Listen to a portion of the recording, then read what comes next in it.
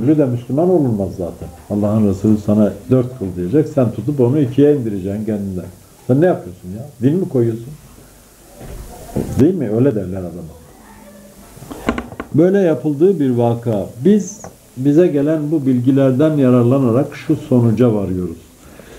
Şu ayetler Medine'de değil Mekke'de nazil olmuştur. Çünkü peygamber neredeyse vahiy oraya geliyor ve peygamberin kendisine geliyordu. Yani peygambere vekaleten bir başkasına vahiy gelmiyor. Gelmedi de gelmiyordu da. Muhammed Aleyhisselam ilk Cuma'nın Medine'de kılındığı günde henüz Medine'ye hicret etmemiş, daha iki, iki buçuk ay Mekke'de kalmış olduğunu tarihi bilgiler bize gösteriyor.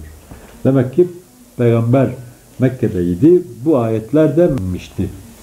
Muhammed Aleyhisselam Mekke'de olduğu için Cibril oraya inmiş ve ona orada bildirmişti. Peygambere deniyor ki toplantı günü namaz için çağrıldığınızda yani bir toplantı tertip edin ve o gün namaz kılın. Bu namaz için de insanları çağırın demek biraz açarsak. Peygamberin durumu Mekke'de o vaziyetteydi ki bırak toplantı tertip edip gövde gösterisi yapıyormuş gibi davranmayı artık ferden orada yaşaması bile zorlaşmış. Mekkeliler her an onu nasıl öldürürüzün peşine düşmüş. Onun hesabını yapıyor vaziyetteler iken onca zayıflığıyla nasıl toplantı tertip edecek orada? Bir de toplantı tertip etmeye kalksa vay lan bir de bize hava mı atıyorsunuz ya zaten yani bahane arıyor herifler. Hemen temize havale edecekler yani bütün beklentileri bu.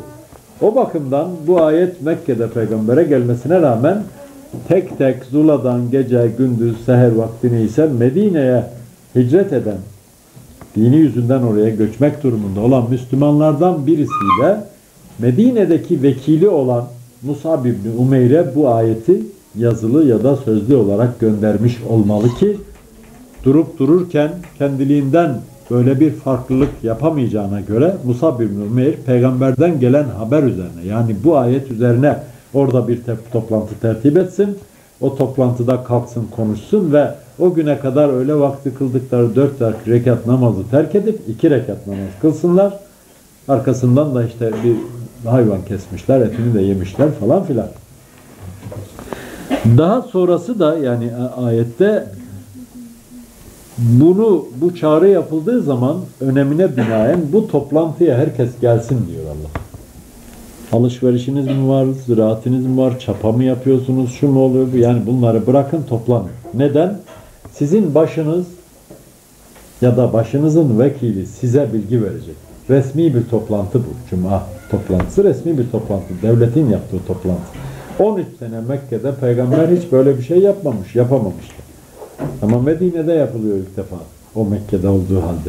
Peygamberin cuması diğer Medine'deki Müslümanların cumasına nispetle iki buçuk ay. Aşağı yukarı 8, 10. 10-12 cuma noksandır. Çünkü hicrete kadar o kadar vakit geçmiştir. Ve katılamamıştır. Kendisi de Mekke'de toplantı tertip edememiştir. Çünkü münferiden yaşama şansının bile her geçen gün azaldığı, böyle sırt boğaz edildiği bir toplumda nasıl bir de toplantı yapacak? Ne yaparlar adamı? Duman ederler. Ama bu imkanın kendileri için bulunduğu Medine'ye haber göndererek oradaki Müslümanların toplantı yapmalarını, toplantıyı sürdürmelerini istiyor ki de ya orada yapılmış. Peygamber Aleyhisselatü Vesselam'ın ilk cumasının, ilk toplantısının da Kuba Mescidi olarak anılan Medine'ye hicreti sırasında Medine'nin varoşlarında yani biraz yakın çevresinde bir yerde konakladığı ve orada ilk toplantıyı tertip ettiğini, orada ilk hutbeyi okuyup ilk cumayı kıldırdığını, cuma namazını bize gelen bilgiler mütevatiren bildiriyor hatırlarsanız. Daha sonra da Medine'ye mülaki olduktan sonra, ulaştıktan sonra artık Medine'deki toplantıyı bizzat kendisinin başkan, başkanlığında yapıldığını görüyoruz. Cuma bu sebeple diyoruz. Cuma resmi toplantıdır. Müslümanların resmi toplantısıdır. Resmi olması için bir toplantının resmiyet ifade edilen kişinin başkanlığında ve onun çağrısıyla yapılıyor olması gerekir diyoruz ve herhalde eğri de söylemiyoruz. Nitekim bu resmantıda her hafta kendisine Allah'ın hükümleriyle hükmedilmek üzere biat edilen kişi bu biatta bulunan insanlara durum hakkında bilgi veriyor. onlara onların bildikleri bazı önemli şeyleri tekrar ediyor, tekit ediyor ve sonuçta onlara olup bitenler hakkında bilgi verdiği gibi yapılacak şeyler hakkında istikbalde yapılacak şeyler konusunda da onları yönlendiriyor. İşte bu eğer teşbih caiz ise hani bir arabanın haftalık bakımı gibi yıkamaya, yağlamaya götürseniz aküsünden, suyundan, yağından, motorundan, şanzımandan, kayışına kadar her hafta bakıma giden araba çok daha fazla dayanır. Çünkü her şeyini görürsün. Yani öyle unutup da yağsız 3 hafta gezmezsin. 3 hafta gezersen bir süre sonra araba ne yapar? Motoru zayıflar, yağ yakmaya başlar ve başına iş açar, masraf açar. Ama her hafta bakıma giden arabanın böyle bir kusur yapması, kısa zamanda başına masraf açması mümkün değil. Ümmetin haftalık bakımı diye bir teşbihte bulunuyorum ben acizane. Gerçekten devlet yani devletin başı, ümmetin emiri rızasıyla seçtiği emiri haftalık toplantıya çağırıyor. Ve bu toplantıya herkes gelmeli diyor. Kim gelemez?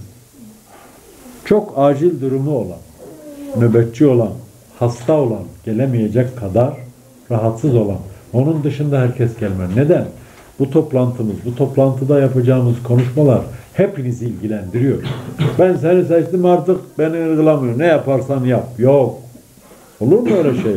Ne yaparsak hepsi seni ırgalıyor. Senin adına yapıyoruz. Sonunda kabak senin başına patlayacak. Ne demek yani beni ırgalamam? Mazeretsiz üç kere bu toplantıya gelmezsen diyor, cenaze namazın kılınmaz diyor örneğin. Ne demek bu? Yani ben devlet ne yapmış, ne demiş, ne bilgi vermiş, ne almış, beni ırgalamıyor demektir ya. Mazeretsiz üç kere cumaya gitmemek, hani halk arasında öyle deniyor ya. Üç kere devletin seni toplantıya çağırıyor, sen bu çağrıyı hiçe sayıyor, gelmiyor? Bana ne? Bana ne olur mu ya? Ya Allah'ın hükümlerinden ona göre hükmeden devletin yaptıklarından bana ne olur mu? Buna bana ne diyen adamı ne yaparlar? Adamı tuttuğuyla kuyruğundan cehenneme atarlar. Yani öyle değil mi arkadaş? Bana nesi olur mu bu işin?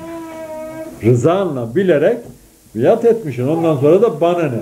Bana nesi olur mu? Sana ne, ona ne, buna ne de bir bana mı ne? Bana da ne? O zaman ne olur o devlet? Mecbursun bir yük almışım geleceksin. Haftalık insanlar biliyorsunuz işinde, gücünde, bağında, bahçesinde, sürüsünün başında, orada, burada, dünyada, yurtta olup bitenleri yakinen takip edemeyebilir. Dünya işleri insanları alır götürür, meşgul eder. Bağda, Bostada işte ben buraya geldim mesela dil bilmiyorum filan radyoda dinliyorum. Şimdi Türkiye'de yer yerinden oynadı mı?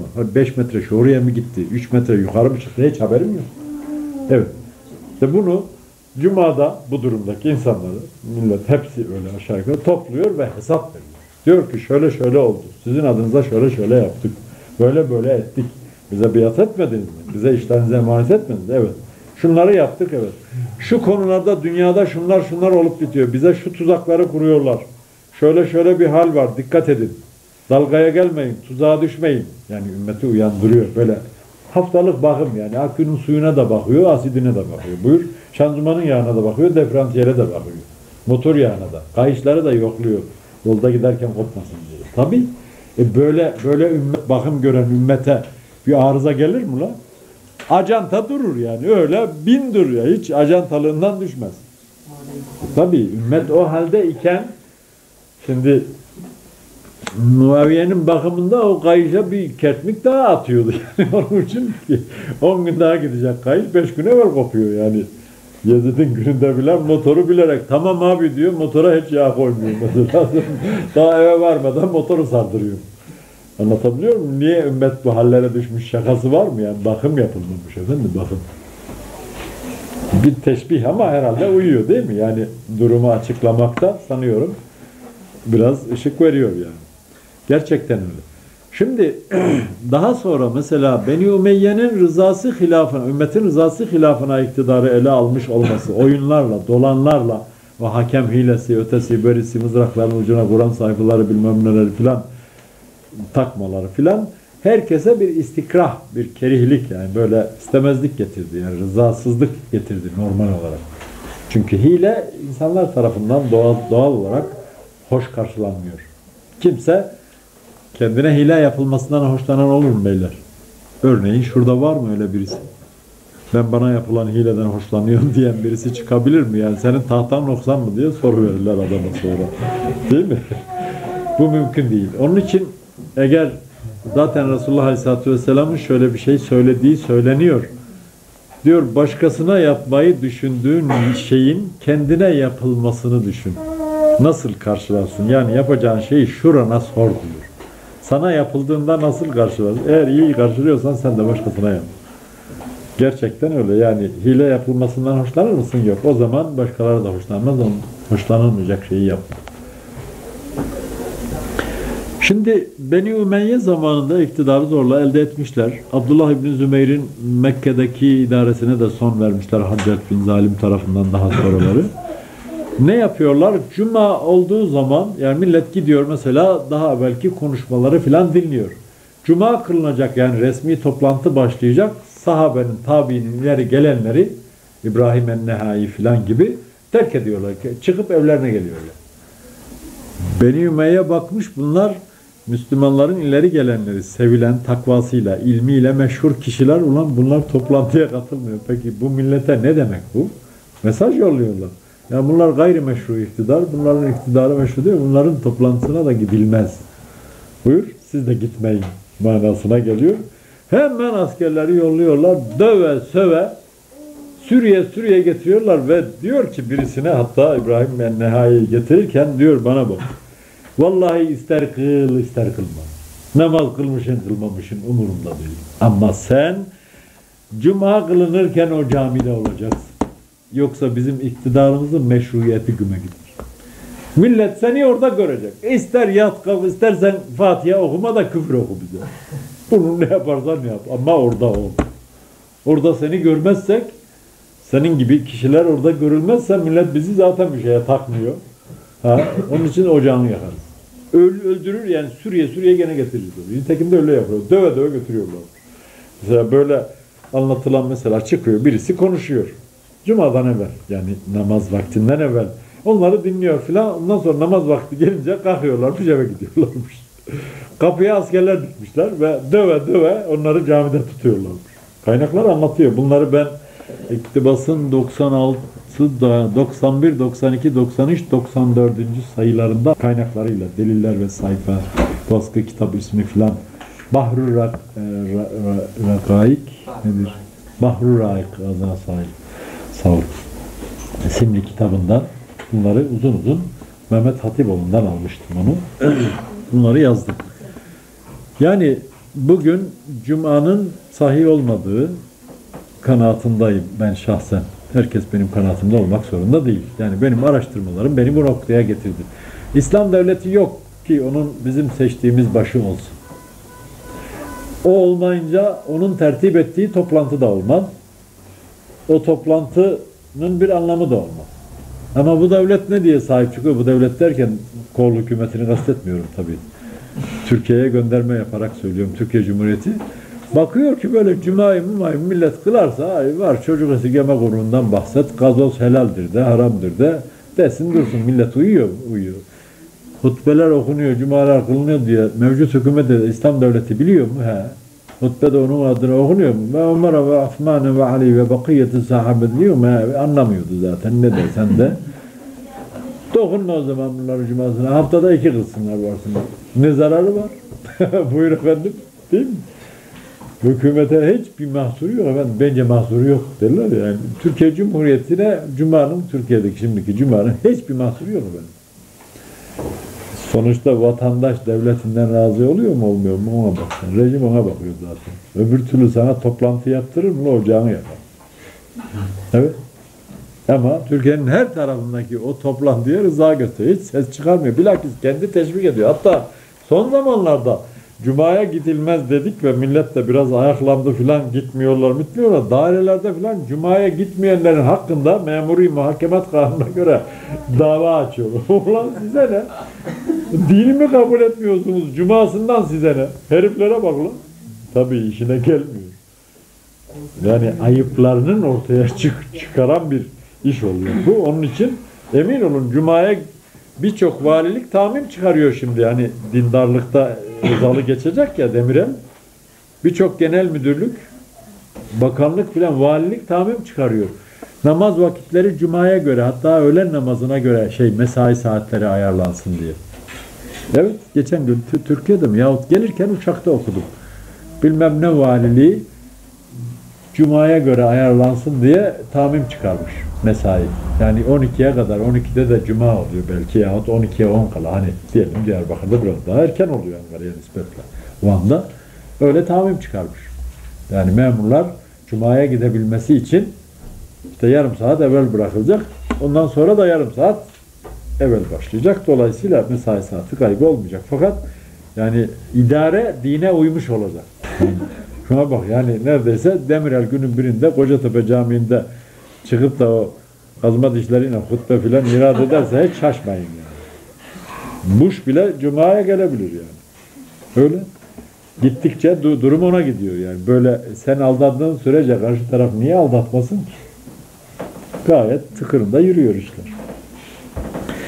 Evet, Cuma ile ilgili geniş geniş delillerini filan da dergideki yazımızda bulabilirsiniz. Gerçekten dört başı mamur bir yazı oldu. Epeyce de beğeni almış idik o yazı dolayısıyla hiç kimse de o konuda o kadar açık ve net olmamıştı. O gün o vakitte ya cuma farzdır, cuma farz ise öğlen farziyetten düşer. Yahut da cuma farz olmamışsa öğlenin farziyeti devam eder. Biz öğlenin farzı o kadar. Ne zaman ki İslami bir devlet olur, bizim rızamızla Allah'ın hükümleriyle hükmetmesi üzere kendisine biat ettiğimiz başkanımız bizi haftalık toplantıya çağırır. Koştura koştura ölüm döşeğinde olmazsak ya araba araba çarpıp bir yerimizi kırmamış olursa koştura koştura gideriz çünkü devletimizin toplantısına biz katılmayalım derler mi katılsın? Elbette ki katılırız. Ne yapmış ne etmiş bilgi verir alırız. Yönlendirir yönleniriz. Allah'tan korkutur korkarız. Unuttuklarımızı hatırlatır hatırlarız. Biz de onları eğrilirse doğrultmaya çalışırız. Allah'tan kork kork deriz. Şu iş şöyle şöyle deniyor. Ne oldu bu iş? Bak üstünde bir entare görüyoruz. Bu entare nereden çıktı? Bize dağıttığınız kumaştan hiç kimseye çıkmıyorken sana nasıl dikti, dikildi bu elbise deriz. Hesabını sorarız. İşte cuma toplan yani toplantıların anlamı budur. Ümmetin yöneticilerin muhasebesini yapabildiği bu konularda sorular sorup cevaplarını alabildiği, yöneticilerin de ümmete haftalık da olsa hesaplar verdiği, açıklamaları yaptığı, bilgiler verdiği toplantılardır. Yani çıkıp orada soracaksın. Yarım ağızdan bile efendim işte ilk san suistimali ne oldu filan. Yok öyle bir şey diyor. Demirel hemen sus veriyor. Yok öyle bir şey diyor. Ulan var işte 300 milyar gitmiş. Yani etmez bir arsaya sen verin demişsin vermişler. Ve herif trilyoner olmuş. 300 milyarı birden kaldırmış işte. Yolsuzluk yaptıkça terfi ediyor herif. Başbakandı bu yolsuzluğu, Cumhurbaşkanı oldu şimdi. Terfi yani. Evet.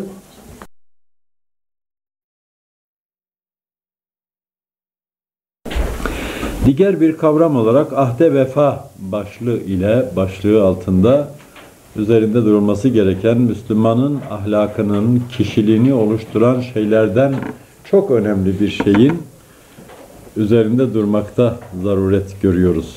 Ahit malumunuz söz demektir. Ahitleşme, sözleşme anlamına gelen bir kelimedir. Vefa ise uymak, bağlılık anlamına gelen bir kelimedir. Ahde vefa söze bağlılık.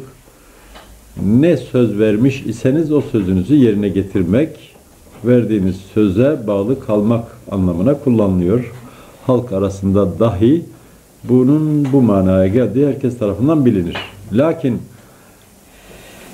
söz verirken yapabilecek mi, yapamayacak mı? Yani yerine yerine getirebilecek mi, getiremeyecek mi? Maalesef bu konuda pek az düşünürken insanımız verdiği sözü yerine getirme konusunda da maalesef pek azımız verdiği sözü yerine getiren, diğer büyük ezici bir çoğunluğu ise verdiği sözü verdiği anda önemseyip yerine getirilmesi gerektiği anda da pek tınmıyor gibi davranan, aldırmıyor gibi davranan insanlardan oluşan bir toplumun maalesef fertleriyiz.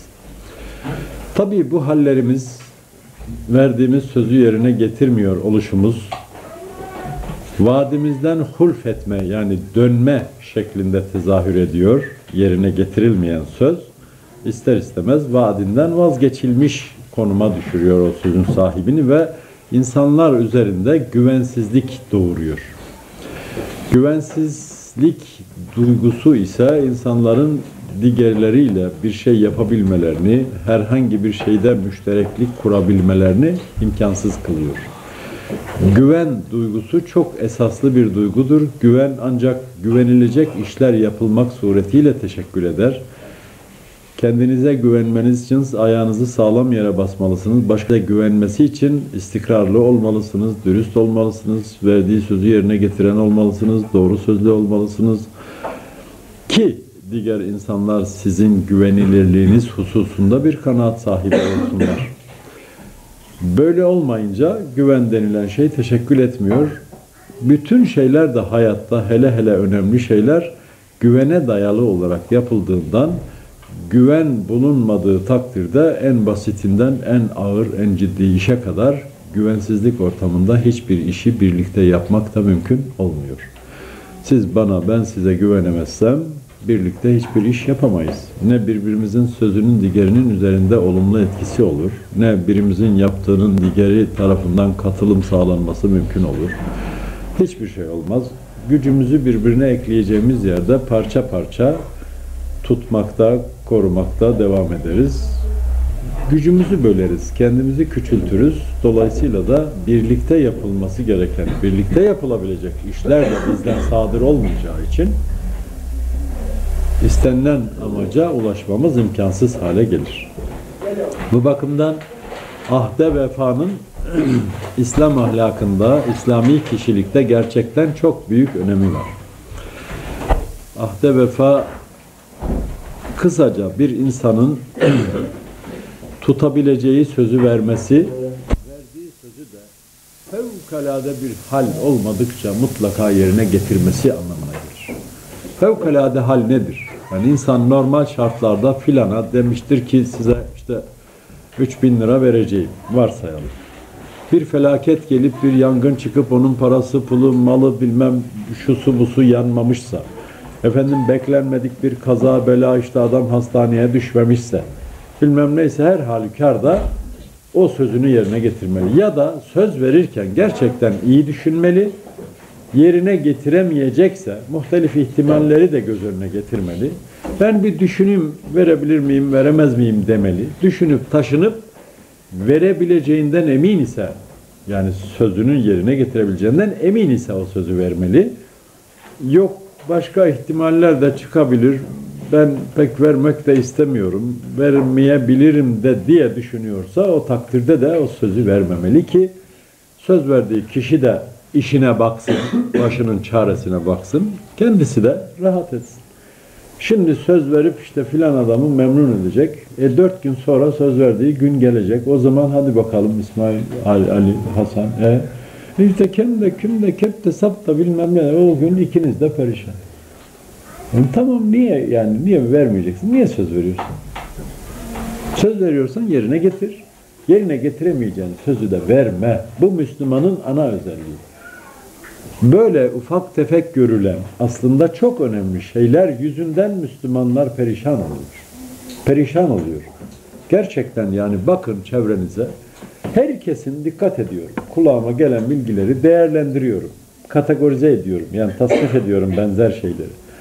Üç aşağı beş yukarı birbirine yakın öteberi. Hep bu tür şeyler yani güven temelinde güvensizlik yatan kişilik bozuklukları belirtisi olan şeyler duyuyorum. Diyorlar ki abi ya işte bize çok sağlam diye yemin billah bilmem işte bir teyp sattılar. He, Müslümanım diyen işte hicret e, o elektronik mağazanın adı filan. He. Vallahi diyor işte bir iki teyp bandı çaldık ondan sonra bozuldu. Sonra anladık yani hırsızlık mı almış meğerse falan. Mesela. Yani Müslüman böyle olur mu ya? Böyle olursa Müslümana kim güvenir? Emin Muhammed'in emin olmayan, güvenilir Muhammed'in güvenilmeyen ümmeti. Böyle ümmeti Muhammed ne yapsın? Böyle kulu Allah ne etsin yahu? Ha? Ne etsin, neye yarar? Kulluğunuz olmasa neye yararsınız demiyor mu beyler, hanımlar? Kur'an'da öyle söylüyor. Kulluğumuz olmasa niye yararsınız? Yani sizi etiniz budunuz için yaratmadım. Kulluk edesiniz diye yarattım. İnsi ve cinni bana kulluk etsinler diye yarattım demiyor mu? Açıkça. Kulluk da nedir kulluk? Yani onun süpürge alıp da kapısının önünü süpürmek değil. Ne? Onun söz sözlerine riayet etmek, koyduğu kurallara göre yaşamak. Üstelik bu kurallar onu aziz eden kurallar değil, bizi aziz edecek kurallar, bizi adam edecek kurallar. Evet. Dürüst olun diyor. Dürüst olanın şeref, dürüst olmanın şerefi kime? Dürüst olana. Olun diyene mi yani? Yok, sen dürüst olursan sen şe- şerefli olacaksın. Yani sen sayılıp sevileceksin, sen itibar göreceksin. Muamelenizde sağlam olun diyor. Birbirinizi aldatmayın diyor. Peki aldatmayan ya bu adam aldatmaz, bu adam sapasağlam adam denilmesinin şerefi kime beyler? Sen öyleysen sana, ben öyleysen bana. Yani bize böyle diyene değil ki. Yani bizi şerefli kılacak şeyler söylemiş Allah. Onlara uy- uyalım, ahlakımızın parçası haline getirelim. O zaman değme keyfine yani. Hem bu dünyada işin tıkırında köşeyi döneriz hem de. Hepsi bu kadar. Evet, bizim basit, küçük küçük gördüğümüz nice şeyler birikiyor.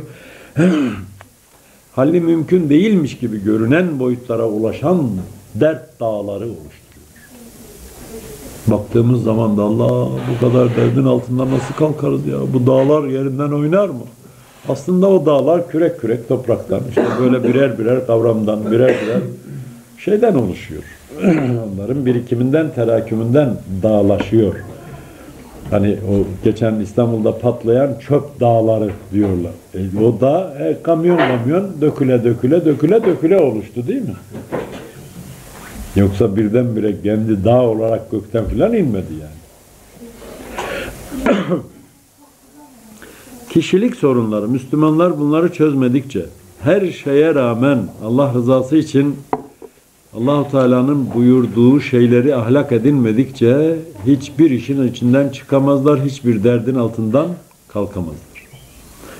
Ne birlikte çalışabilirler, ne ticaretlerinin tadını alırlar, ne siyasetlerinin, ne aile hayatlarının, ne kişisel yaşamlarının yani giderek şu gavurların hiç değilse şu sorunu yok. Yani onların kafasında hane yok, sorun da yok. İşte böyle ot gibi gelmişler, ot gibi gidiyorlar yani dünya şöyleymiş, böyleymiş bilmem ne hiç umurlarında değil. Hortlak gibi yaşıyorlar yani ne biçim yaşamsa. Ama biz öyle değil. Biz hem iyiyi tanıyor hem de boyumuza kadar kötünün içinde yaşıyoruz. Bizimki çok büyük handikap. Yani çok nasıl bir sorun? Biz biz ayrıca ikilem içindeyiz. Onlar bari ikilem içinde değiller. Yani onlar tanımıyorlar. iyi iyi tanımıyorlar. İşte kötü iyi diye tanıyor ve orada devam ediyor. Hiç değilse istikrarlılar. İşte o istikrarlı oluşları şu düzeni sağlıyor onlar açısından. Böyle düzenin olmayı sağlıyor. Biz öyle değil. Biz diyoruz ki işte dürüst olmak iyidir. Aa bir bakmışın ulan onu söyleyen adam değilmişiz gibi. Değerlilik bizde. Yani ne doğruluğun iyi olduğunu söyleyen adamda.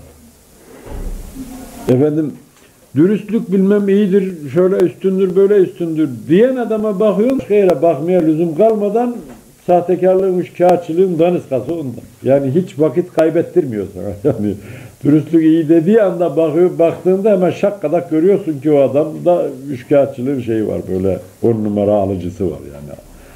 Allah Allah. Böyle olunca bu çelişkiyle biz ne yaparız? Biz işin içinden çıkamıyoruz işte. Halimiz bu. Nefislerindekileri değiştirmeyenin Allah halini değiştirmez. Ahde vefa İslami bir kural mı? Evet. Muhakkak söz verin demiyor Allah.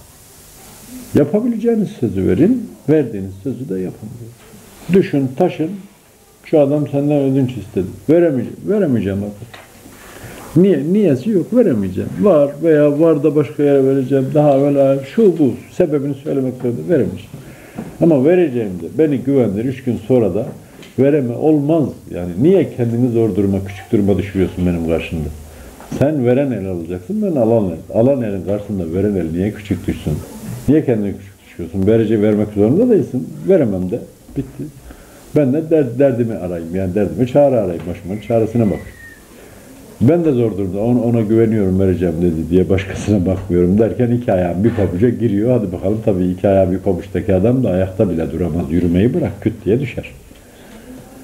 Düşüyorsun. Ondan sonra e, böyle muamele 1, 3, 5, 15 derken nasıl yaşayacaksın? Ha, bu Müslümanlara güvenilmez. Sen de Müslüman olduğun halde böyle demeye başlıyorsun. Tabii sen de güvenilmez Müslümanlardan biri olarak bunu söylüyorsun. Yani ister farkında ol, ister farkında olma. Çünkü cümle alem kötü de bir sen iyi değilsin yani. Evet. İslam bir yaşam tarzı. Komple bir yaşam biçimi. Komple. Yani nasıl ki bir işte Ford, Audi, bilmem BMW filan veya Skoda dendiğinde komple bir araba anlaşılıyorsa ta ki tekerinin bijonundan bilmem neredeki somununa, şuradaki segmanından buradaki vantilatörünün kayışına varana kadar bir komple yapı akla geliyorsa İslam dendiğinde de beş vakit namazdan yani iman etmekten, motordan, şanzımandan tut efendim bilmem neredeki ta- benzin otomatiğinin contasına varana kadar anladın mı? Bir bütün olmazsa olmaz. Motor bilmem motoru kaç milyon lira. Motorunun kapağının contası yoksa ayvayı yersin işte. Yani o belki 5-6 guldendir o conta ama onu takmazsan kaç kilometre gitmeden tüm yağ bitirin motor da orada çakılır tutulur kalır. Felç olmuş gibi. Anladın? Önemli. Keyfe keder işlerden değil. Kaldı ki Müslümanın keyfe keder bir kusuru dahi olmamalı. Şoför ıstılahında keyfe kederlik arabanın gitmesini engellemeyen türden eksiklikleri varsayalım işte kaporta boyasında çizik var. Şimdi boyadaki çizik ya da boyadaki soluk arabanın gitmesiyle alakalı yok değil. Şeyle, görüntüsüyle alakalı. Yürümesiyle hiç alakalı yok. Ama lastiğin kabaklaşması yürümesiyle alakalı. Kabak daha kolay patlar. Patlayınca da araba alabora olur ve de içindeki dışındaki sizlere ömür olur, yengem olur yani. Aynen o biçim. İhmal etmeyecek. Ben şu namazımı kılıyorum, Ramazan orucumu tutuyorum, sakalım da var, şalvar da giymişim, avrada da çarşafa işte bürümüşüm. Ee, ne olacak yani bir kere bir şakadan yemin etmişim. Yeminin şakadanı var mı lan? Nerede? Hangi kitapta yeri var? Söyle de bilelim. Velhasılı kelam, İslami kişilik bir bütündür. O bütünden küçücük contanın, bir küçücük sekmanın, bir küçücük pulun, bir kayışın, bir somunun, bir bilmem hiçbir şeyin eksik olmasına gönlünüz rıza göstermesin. Zira o, o bütünü bozar. Ve o bütün olursa sizi götüreceği yere götürebilir iken o bütün bozulmuşsa gideceğiniz yere gidemezsiniz. Gidemezsiniz. Yolda kalırsınız ve perişan olursunuz. Nitekim de Müslümanları İslam bugünkü Müslümanları eğer bir yere götüremiyorsa neresidir o götüreceği yer? Şerefli insanlar arasında en şerefli bir yer. Dünya çapında kişilik olarak, devlet olarak, toplum olarak en şerefli. Bak bunların işi şöyle. Bak bunların ahlakı böyle. Bak işte bunlar bunlar böyle. Bunlar gibi olmak lazım dedirecek yere götürür İslam insanı. Eğer bizim yerimiz bak şöyle, bak böyle bunlar denecek yerde değilsek o zaman bir köklü, bir esaslı eksikliğimiz var demektir. Aynı İslam, yani İslam mı acaba bizi geri bırakıyor? Evet, kendi kendimize soralım. İslam insanları geri bıraksa idi, biz insanız, fıtratımız aynı. Bizden bin sene önce, 1400 sene önce yaşayanlar da insandı. Onların da fıtratı aynı. Madem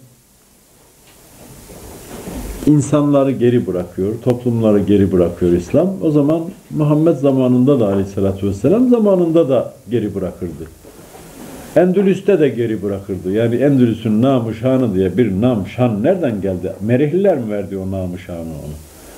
Bütün dünya kitap nedir bilmezken Endülüs'te bir tek köy yok ki kütüphanesi olmaz.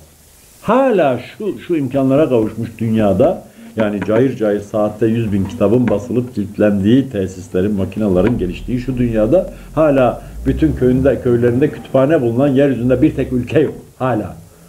1200 sene evvel ve 600-700 sene evvel yani 1300'lerde işte hayatına son verdiler Endülüs'ün. O zaman bütün köylerinde tarih tarih kitapları yazıyor. İslam tarihleri değil, yani ba- Batı tarihleri yazıyor. Bütün köylerinde Endülüs'ün kütüphane var. Köyler dahil, kasabalar ve büyük şehirler dahil, Toledo'lar, Granadalar, bilmem ne, Seviller hepsinde efendiler Sokaklar lambalarla aydınlatılıyor. Elektrik enerjisi falan da yok. Zeytinyağı yakılıyor ve sokaklar lambalarla aydınlatılıyor. Hala şu günün yani bir barajı bir baraj yap bir Fırat'ın önüne elde ettiğin enerji 10 bin köyü 20 bin köyü ışıklandırır. Bu anda dahi şu hale gelmişiz. Hala bütün köyler ışıklı değil örneğin Türkiye'nin. Ama bundan 700 sene evvelki Endülüs'ün bütün köyleri ışıklıydı. Evet aydınlatılıyor. Batı, batı daha işediği boku nereye atacağını bilmiyor. Sokağa atmış. Bu, bu sefer de kokusundan duramaz olmuş. Ya bu kokuya nasıl engel oluruz diye çalış uğraş. Kolonyayı bulmuşlar. Hani o delinin dediği gibi o çivi o duvarın değil şu duvarın dediği gibi. yani bunu bir yere yapalım da ortalığı kokutmasın diyeceği yerde. Onu hiç düşünmüyor. Evet. Kafası böyle. Kontağa kapanmış motorun ters çalışması gibi çalışan herifler bizi solladı geçti. Bizi hiç e, gözden kayboldular yani. Yok. Niye? Ula aynı din. Endülüs'teki insanları Allah'ın kullarını alır böyle füzeyle götürür gibi yukarılara çıkarır. Muhammed ümmetini o devirlerde böyle yapar. Peki biz kimin ümmetiyiz? Herhalde onun ümmeti değiliz. Yani bir işte bir bir conta eksikliği, bir şanzıman dağınıklığı, bir motor yanıklığı bir şeyler var yani. Koku gelmiyor mu burnumuza? Almıyor mu koku? Var. Var yani. Yoksa niye? Ulan şunun çalışıyor. Benim arabam var çalışmıyor. E ne var? Seninkinin bir herhalde bir, bir eksiği, noksanı, bir kusuru bir şeyi var da çalışmıyor. Yoksa araba çalışmasın diye yapılan vasıtaya denmez yani. Çalışsın, binilsin, gidilsin. E seninki yapıyorsun, yapıyorsun, çalışıyor. Neden? Gıv gıv gıv diyorsa işte akü elektrikle gıv diyor gene. O zaman benzin mi gelmiyor? Acaba ne oluyor? Kapıda açıp bakacağım. Başka türlü yolu yok. Hiç millet baktığı da ya öyle arabanın içinde şöyle yaylanıp duruyor. Araba da gidiyor kabul ediyor kendini. Ha şu görüşçü, bu görüşçü, öte görüşçü, beri görüşçünün yaptığı kendi o koltukta yaylı ya. Yaylandı ya gidiyor. Şimdi oturdum yerde gidilir mi lan? Çocuğum zıp zıp mı ne var yani çocuk o da işte gidiyor zannediyor. Hadi o çocuk biz eşek kadar olmuşuz. Öyle. Halimiz bu. Yani aklımızı başına başımıza almak zorundayız. Disiplinli olmak zorundayız. Disiplin ne demek biliyor musunuz? Disiplin gavurca, Fransızca bir kelime. Türkçesi yani Arapçası ama Türkçe'de kullanılıyor. Ciddiyet demek beyler. Hiç baktınız mı lügata aklınıza gelip de? Disiplin eşittir ciddiyet demektir. Ciddiyetin ne olduğunu da açıklamaya lüzum var mı? İşi sıkı tutmak demektir. Evet. Yani şurada dört gün bile bir programı doğru dürüst uygulayamıyor, uyamıyorsak başıbozuk ordusu gibi kimisinin yakası şu tarafta, kimisinin tüfeği bu tarafa dağılmış, kimisinin materası yok, kimisinin olmaz mı? Bu ordudan zafer bekleyemezsiniz efendiler. Nefsiniz acı gelebilir, kızabilirsiniz. Kızın hiç umurumda değil. Allah kızmasın. Evet. Olmuyor. Allah rızası için kendinize çeki verin. Sorumlusunuz. Çünkü yani Allah'ın kulları sıfatını, onun dininin mensupları sıfatını taşıyorsunuz üzerinizde. O levhaya, o, o levha altında, o kavrama, o dine, o dinin sahibine, sahibini küçük düşürücü oluyoruz. Olmayalım. Allah rızası için. Çok önemli.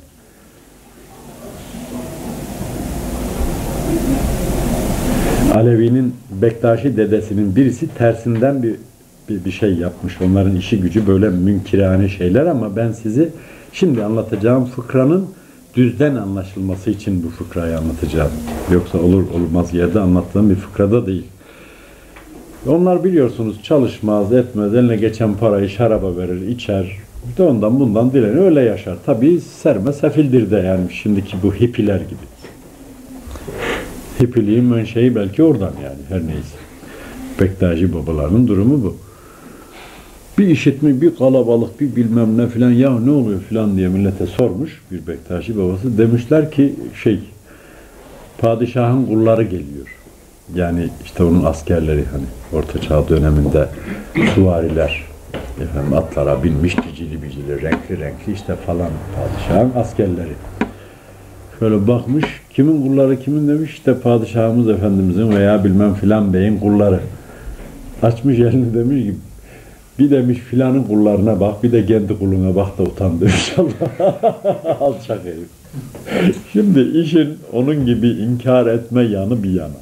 Ama hakikaten öyle. Yani bir şu nefsinin kulları şu alamanlara bakın. Allah rızası için biz bizeyiz beyler. Kendimizi çimdikleyelim yahu. Maddeye kul olanların utanılacak bir görünümü yok yani bakıyorsun. Hani üstü başı düzgün, eli yüzü düzgün ha. Yiyeceği, içeceği, arabası, evi işte bak. Köyü bile böyle. Bu bize ar değil mi?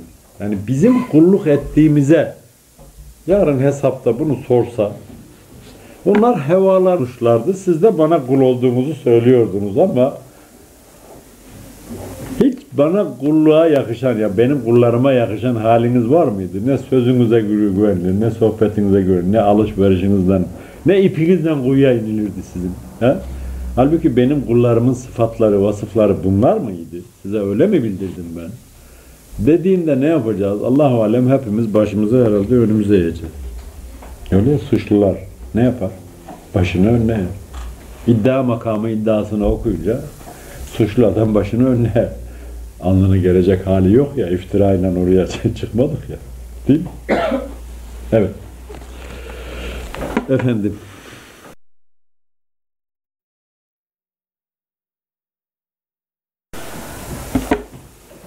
Tekzip Arapça kezebe yalanlama kökünden gelen bir kelimedir.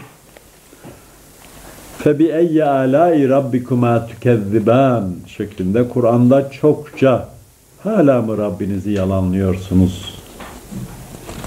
Hala mı Rabbinizi tekzip edeceksiniz? Yalanlayacaksınız. Yani onun dediğinin tersini yapacaksınız. O böyle dediği halde siz öyle değilmiş gibi kabulleneceksiniz. Ki buna zaten tekzip etme deniyor.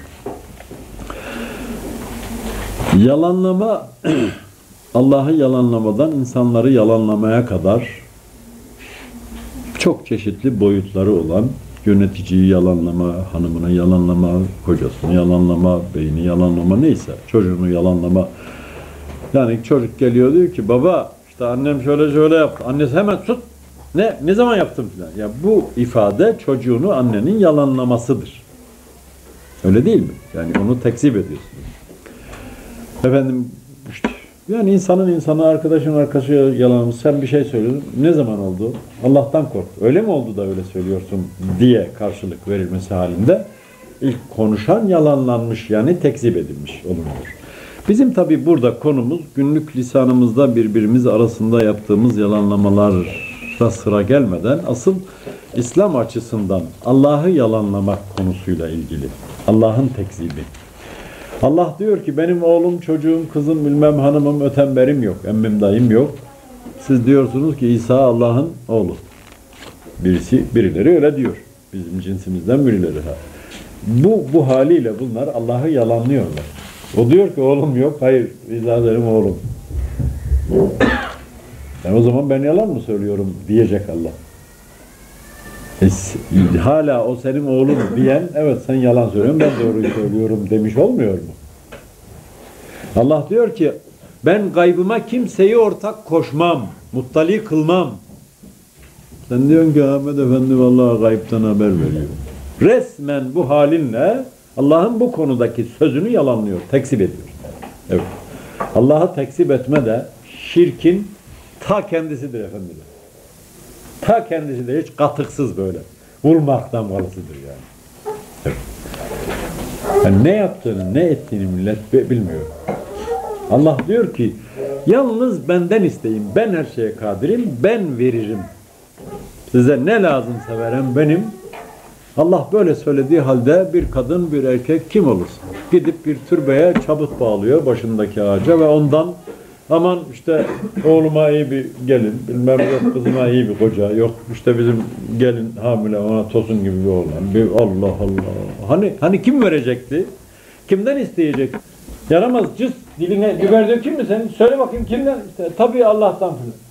Tabii sıkıştırınca tabii Allah'tan ama kuyruğu kurtarınca hemen gidiyor gene türbeden filanın falani veli hazretlerinden. Sen bu konuda da Allah'a yalanlıyorsun. Yani yalanlama üstüne yalanlamayla geçiyor hayatın. Peki Allah'ı yalanlayanın hali ne olur? Allah yalan söylüyorsa, Allah yalancıysa o zaman kim doğrucu? Kim doğru? Kastımız yok şu bu ama yaptığımız yani kastımız olsun olmasın. Şimdi bir ka- kadın bir erkek diyelim akşama kadar şurada 10 tane bardak kırsa. Velev ki kasten kırsa, velev kasti olmadan kırsa. Sonuçta ya yetti be. Allah Allah. Yani şuraya geleli 3 gün oldu 30 bardak kırdık be. Ha bir günde 9'a indir şunu. Hiç mi dikkat etmen yok? Demez mi insanlar? Denmesi gerekmez mi? Ama her işinde Müslümanlar dikkat ediyorum. Yani bir sürü şeyi noksan yani. Gümrükten çıkma araba gibi. Gümrük depolarındaki arabalar gibi. Yani dışarıdan bakıyorum arabaya benziyor ama hele bir ihaleye gir üstüne kalsın bir eline geçirince bak. Allah şanzıman yok, motor yok, karbüratör gitmiş. Yani sana iskeleti ölüsü kalmış. Bir deri bir kemik mumyası kalmış. Evet. İşin gücün yok iki sene sanayide onu adam edeceksin diye uğraşma bak uğraş. Müslümanların hali maalesef böyle. Ne karbüratör var, ne radyatör var, ne şanzıman var, ne motor. Evet. Yani bakıyorum dışına Müslüman, Müslüman ama dış, dış yetmiyor. Yetseydi keşke ama bizim keşkelerimizle bir şey olmuyor yani. Evet. Evet, özellikle insanlar Allah'ı yalanlamamaya çok dikkat etmek zorundalar. Çünkü Allah'ın yalanlanması yalanlayıcısını müşrik yapar. Kesinlikle. Dikkat edilmeli. Hakikaten Allah'ı yalanlayan Allah'ın gözünden öyle bir düşer ki cehennemin gayya kuyusuna düşer yani. E, İnsanlar arasında da öyle değil mi beyler? Yani sen doğru bir şey söylüyorsun. Arkadaşım dediğin adam diyor ki hadi lan adam diyor. Nereden söylüyorsun falan. Yalan diyor. Bu yalan söylüyor arkadaşlar. Şimdi kendinin doğru söylediği halde böylesine yalanlandığı kimse yalanlanan gözünde itibarı olur mu? Olmaz tabii. Yani sen ki gerçekten yalan söylemiyorsun. Doğruyu söylüyorsun. Geliyor buraya diyorsun ki işte ben arkadaşlar yiyecek içecek bana verdiğiniz listeye işte gittim en ucuz almaya çalıştım. İşte toplam bilmem 300 küsür mark 800 bilmem ne mark verdim. Yalan söylüyor arkadaşlar diyorum ben. Bitti. Şimdi ben böyle dedim bunu yalanladım. Peki bu adam ne desin? Ya işte faturası bilmem nesi filan diye kendini savunup doğruyu ortaya çıkarmak için şahitte göstersin. İşte bak Köksal da vardı bilmem onun bacısı da vardı alırken bilmem filan dese dahi gene de beni artık sevemez o. Yani ne diye ben onu hiçbir delilim olmadığı halde yalanlıyorum.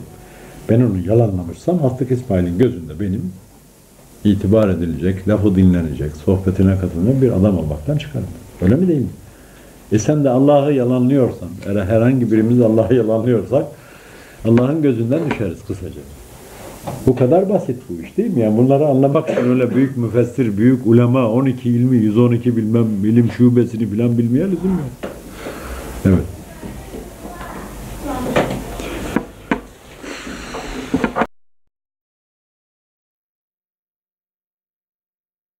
Pebli Arapça belega be, lam ve gayın harflerini kök ittihaz etmiş ve bu kökten türemiş bir kelimedir. Olabildiğince açıklık anlamına gelen mastar kelimedir. Olabildiğince yani en açık, kabil olduğunca açık. Öylesine açık ki kimse o açıklığa rağmen anlamazlık ben anlayamıyorum diyemez. Yani ta o kadar açık. Peygamberler Allah'ın kullarına gördüğü, gönderdiği mesajların açıklayıcılarıdırlar. Olanca açıklığıyla açıklayıcılarıdırlar. Tebliği Türkçeleştirerek söyleyelim. Tebliğ farzdır demek, İslam'ı yani Allah'ın vahyini, dinini onun kullarına olabildiğince açık bir şekilde anlatmak farzdır demektir, borçtur demektir. Bilinmeyen bir şeyi açıklamak ne kadar mümkün ise ki mümkün değildir. İnsanların tebliğ ile ilgili içine düştükleri handikap da bu yüzden başımıza çok büyük problemler açıyor. Kendisi muhtacı himmet bir dede, meşhur bir deyiş var biliyorsunuz. Kendisi muhtacı himmet yani himmet edilmeye, yardım edilmeye ihtiyacı olan bir dede, bir ihtiyar. Kaldı ki gayriye himmet eder. Kendisi yardıma muhtaç. Başkasına nasıl yardım eder? Mümkün mü bu? Yani akıl bunu alır mı? Evet. O zaman kendisi bilmeyen, kendisi nezdinde açık olmayan, kendisi nezdinde mübellir hale gelmemiş, mü- mübeyyin yani açıklanmamış, açıklığa kavuşmamış bir şeyi o kişinin başkasına bütün açıklığıyla, anlaşılabilirliğiyle anlatabilmesi ni düşünmek mümkün değildir. Şöyle basitçe bir örnek verelim. Diyelim ki ben hiç şoförlükten, motordan, kayıştan, şanzıman nedir, neye delalet eder, motor nedir, karbüratör nedir, falantör nedir, filantör, garantör nedir bilmiyorum. Ve şoförlük kursu açmış zaterlerinize şoförlük belletiyorum. Kim benden duyduklarıyla şoför olabilir? Mümkünü var mı bunun? Yani herkesin gülesi geliyor. Çünkü ciddiye al- alınmayacağı, alınamayacağı halinden belli zaten. İslam için de aynı durum söz konusu. İslam'ı maalesef asırlardan beri kendisi anlamamış. Kendisi nezdinde açıklığa kavuşmamış olanlar millete açıklamakla meşguller efendim. Hoca efendilerimiz, mübarek vaiz efendilerimiz, büyük ulemamız, ulamalarımız filan. Evet. Bunların hiçbiri bilmiyor ki ne, ne anlatacak. Bunların en iyi bildikleri iş bol bol işkembe fokurdatmak ve de sık sık helaya gitmektir efendim. Evet. En aliminin bildiği ise kara kaplı kitaplarda Şemsül Eymme'nin Şemsül Eymme Serahsi'nin yazdığı Bedai Senayi Beyrut baskısından kaçıncı cildin kaçıncı sayfasında kimin ne dediğini bilmektir ama mübarek ha bir kere de sen bir şey bil ya. Peki o öyle demiş o ulemamız. Siz ulemamız zateniniz ne buyursa estağfurullah efendim. Bize düşer mi bir şey düşünmek bilmek? Onların dediklerini tekrar etmek. Yani ümmet olarak toptan papağan olmaya oy birliğiyle karar verilmiştir efendim asırlardan beri. Verildiğinden dolayı da bu ümmetin gemisinin yüzdüğü deniz bitmiş ve de karalara oturmuşuz. Evet. Gemimiz yüzmüyor. Bundan denizi bitirmişiz ya. Karadenizlerin dediği oy deniz bitti demiş. Gitmiş kayaya vurmuş. Karaya çıkmış. bir bakmış toprak "Oo, deniz bitti demiş. Öbür taraf hep deniz ulan o tarafa sürsene belli ki burada yürüyen vasıta değil bu işte. Evet biz hepimiz Karadenizli olmuşuz ümmet olarak efendim sen işine bak. İşin doğrusu bu. Evet. Evet, evet. yani öğretmen neyi öğreteceğini bilmiyor ise ki öğretmen denmemesi lazım ona. Öyle. Öğrenciler hak getirir. Hiçbir şey bile bilemezler yani. Ne bilecekler. Çok enteresan bir örnek size anlatmak istiyorum. Cehaletin örneğini ki bu iyice yani Levent Kırca falan duysa sahneye sah- sahneye koyar bu, bunu. İmamın birisi köye bir köye gitmiş. Orada kaç sene işte şu kaç çinik buğdayla imamlık yapmış falan filan. De millete abdesti tarif ediyor. Kitaplarda da ilmihal kitaplarında abdestin alınışı tarifi uzun uzun yazılır. Suların temizliği babından tut da efendim değil mi? İçine fare ölüsü düşmüş kuyu nasıl, suyunun suyu nasıl tahir olur? Kaç bahraç su dışarı çıkarıp da akıtırsan. Radyasyon falan diye bir kirlilik zaten gözün görmediği kirlilik mi olur? Ay çıt o da neymiş? He. Uzun uzun tarif dinimiz çok ince ya bizim. Efendim kitap yazıyor. Eski yazı kitap. Kitapta okuyor ki abdest alırken yüzüğünüzü oynatın. Tamam? Anlaşıldı değil mi Türkçe?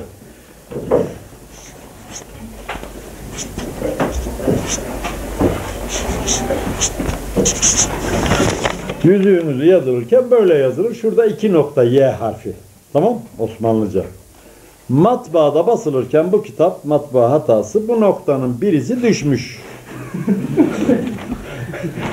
Hoca efendi de tabii hiç düşündüğü yok. Kitapta öyle yazınca yani kitaba rağmen olur mu yani kitap kitap neyse ona uyacak.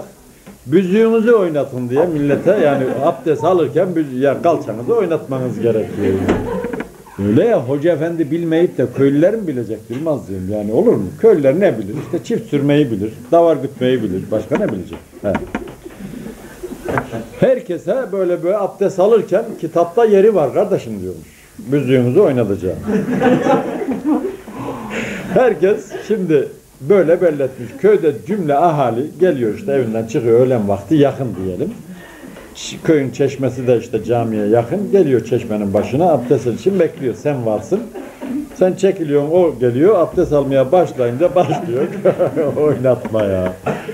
Şimdi o imam gitmiş, bir başka imam gelmiş. Neyse sabah mabah derken öğleyin caminin önünde bekliyormuş. Hani ezan okunacak. Millet de yavaş yavaş camiye geliyor. Bunun dikkatini çekmiş. Bir bakmış camiye işte kollarını sıvıyor. Bilmem ne yapıyor filan. Doğru dürüst adam gibi geliyor ama oluğun altına elini tuttuğu andan itibaren başlıyor. Allah Allah. Lan bu neyin nesi? Hadi birisi içinde mi belki adam hasta mı acaba olur ya hani öyle titreyen felçli olur bilmem ne olur filan. Yanılıyor muyum? Yok. O kalkıyor gidiyor dursun geliyor o da başlıyor. Ali Rıza geliyor Allah Allah herkes öyle yapıyor. İyice merak ediyor adam. Tabii abdestini aldıktan sonra da kıvırmayı durdurup millet kurulanıp filan camiye geliyor. Yani namaz kılacaklar ya. Hoca soruyor bu yeni hoca diyor ya ne yapıyorsunuz dikkatimi çekti diyor. Yani oluğun başına gelirken çeşmenin diyor gayet güzel adam gibi geliyorsunuz ama oluğun altına elinizi tuttuğunuz andan itibaren başlıyorsunuz büzüğünüzü kıvırmaya. Bunun ne bir değil beş değil hani hadi bir kişi de iki kişi de olsa olur ya hasta hasta diyeceğim ama alayınız yaptığınızı. Hepsi birazdan hocam kitapta yeri var mı? Senden evvelki imam vallahi öyle söyledi. Ulan nasıl kitapta yeri olur? Biz de okuduk kitap. Bunun hangi kitapta bunun yeri? Düşün taşın adam Allah Allah yüzüğümüzü yüzüğümüzü. Hani yüzüğün altı kuru kalmasın diye yüzüğümüzü eli, el yıkanacak ya. Yüzüğü oynatmazsan altı kuru kalabilir. Hani su işlemez o. Ama öbürü mangafa. Orada bir nokta düşmüş. Düşünce de yüzük büzük olmuş. Yüzüğü oynatacağını büzüğünü oynatıyor millet. Anlatabiliyor muyum? Şimdi bu tabii çok abartılmış bir örnek ama uydurma da değil. Uydurma da değil yani. Gerçek bu, olmuş bu olay. Şimdi bu denli bilen, doğruyu bilen hocaların elinde bu fukara millet ne yapsın Allah aşkına? Ha? Yani derman sahibi olayım diye, gıda yiyorum diye boyuna saman yediriyorsun öküze. Hiç saman yiyen öküz çift sürebilir mi? Dizinde derman olmaz ki çift sürsün. O samanla biraz arpa, biraz yulaf, kırma falan katacaksın. Yoksa imkanı yok. İki döner, üçüncüye der kalır. Evet. İmroz cezaevinde, Gökçeada cezaevinde biz çifte sürüyorduk. Yani 750 dönüm bağımız vardı, katırlarımız vardı. Onlara birkaç gün yalnız saman dökmüşler, hiç arpa vermemişler. Arpa gıda değeri yüksek bir yiyecek. Saman ise boş, karın doldurur. Yani bir çuvalını dartsan bir cimcik arpaya bedel de gıda değeri yok. Ha, ondan sonra o yüzden dermansızlık ya bizde zaten. Hiç çift sürmez, bağları süreceğiz, sü- sürmez katır. İki gider durur. Halbuki katır bula durmayı bilir mi? Yok sonra dedim ki ya ne yapıyorsunuz siz bana arpa vermiyorsunuz oğlum. E, saman veriyor oğlum. Samanda gıda yok ki. Hayvanın dermanı yok. Sen arkasındaki pulluğu takmışsın toprağa çek bunu diyor. Yani hadi derman. E derman yok. Ne yapacak katır? Soluyup verecek. Daha zorlarsan çifteye attım seni yatırır. E tabii ne yapsın? Ver gıdayı ondan sonra iş ister. Böyle bu işler. Yani bilgisi olmayanlar yani alimler cahil olursa cahiller cahilin karesi veya üzeri on olabilir değil mi? Olur. Öyle olmuş ümmetin haline bak. Ulemasının hoca takımının hali hakkında not ver. Hiç görüşmeye, konuşmaya falan lüzum yok. Değil mi? Kainattaki düzenin mükemmelliğine bak. Allah'ı görmene lüzum yok. Onun ne kadar çekip çevirici, ne kadar kadir, her şeyi becerici, hiçbir şeyi ihmal etmeyici olduğu hakkında hüküm var. Değil mi? Ayinesi iştir ki bakılmaz denmesindeki sebep de bu. Yani sen nesin? Sen hiç seni tanımama lüzum yok. Sen bana mesela dükkanın var bir götür bana. Oradaki nizam, intizam, öteberiyü bana senin hakkında fikir verir. Hiç şakası yok. Hiç. Seni görmeyeyim hatta. Yani sen yoksun dükkanda gitmişim. Bura işte İsmail'in dükkanı. Bura bilmem Salim'in dükkanı. Bakıyorum. Bu, bu adam para kazanmayı biliyor ama öyle pek temizliğe falan işte intizama da pek dikkat ettiği yok derim. Neye göre derim? Orada gördüğüme göre. Ama bunu dedirmeyecek şey görürsen de onu demem her bir şey düzgün arkadaş. Yani böyle dükkandan al benili dükkan beni de al diyor. Yani ben sen de benden bir şey al diyor. E böylesine cazip bir dükkan elbette sahibine para da kazandırır. Ha? Namını orada burada ya böyle bir manav var filan mahallede ha.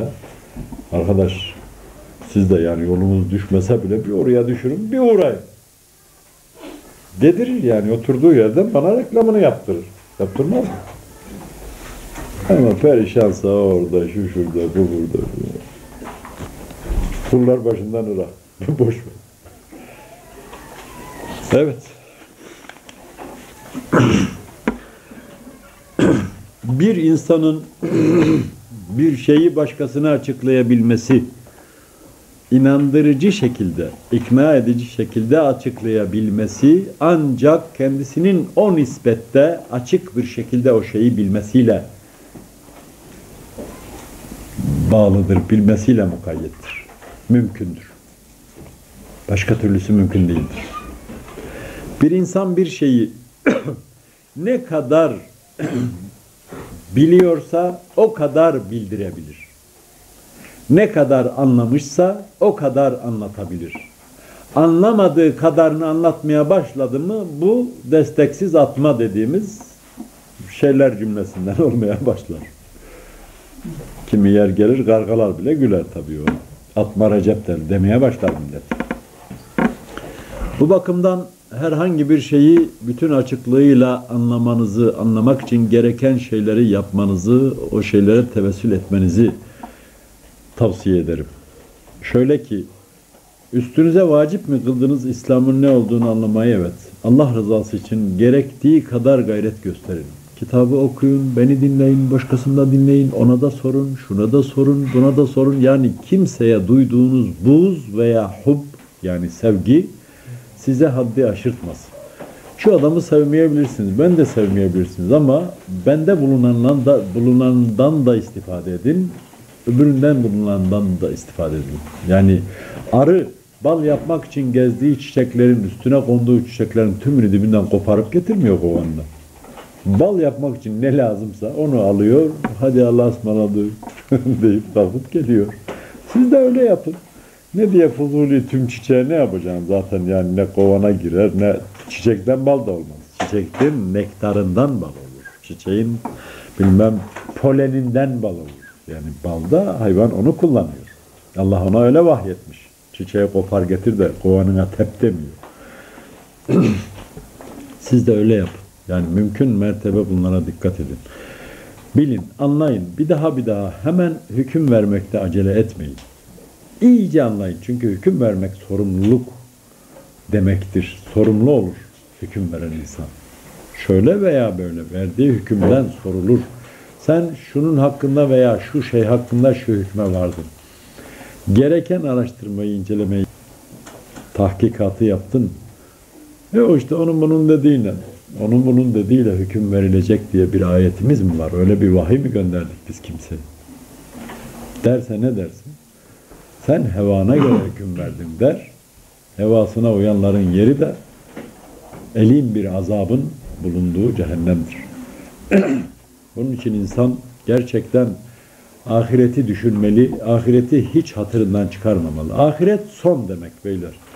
Asıl ölümden sonraki dirilme ve oradaki hayat gerçek anlamda ahiret olduğu halde bu dünyada da ahiret var. Yani şu anı takip eden an ahiret demektir.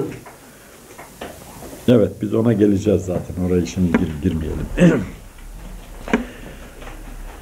Kendisi iyi bilmeli. Ayağını yere sıkı basmalı. Sağlam bilmeli ki başkasına da emin bir şekilde anlatabilsin. Yine de insan kendisine vahiy gelmediği için daha sakin, daha mütevazi olmalı ve demeli ki benim acizane yaptığım araştırmalara, incelemelere göre ortaya çıkardığım sonuç şu konuda şu. Ben böyle düşünüyorum. Ama bana vahiy gelmiyor. Ben de bir insanım. Elbette eksiğim de olur, yanılgım da olur. Yanılırım da. Herkes gibi.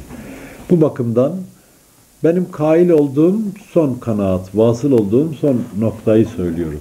Burada takılıp kalacak da değilim. Eğer günün birinde düşünürken, taşınırken, tartışırken şundan bundan bir derece daha üstünlüğü bulursam bu konuda bunu bırakıp onu alacağım. Sen de öyle yap. Der ise hem kendini yüceltir, her geçen gün terfi yani yük yükselir, irtifa kay, kay, kay, kaybeder, şey kaydeder, hem başkalarının yükselmesi, yücelmesi için yol açmış, usul göstermiş olur. Çok önemli bir husus bu. Bu bakımdan bilmeyenler konuşmamalı. Konuşmaları öğrenmek için olmalı. Öğrendikçe konuşmalı.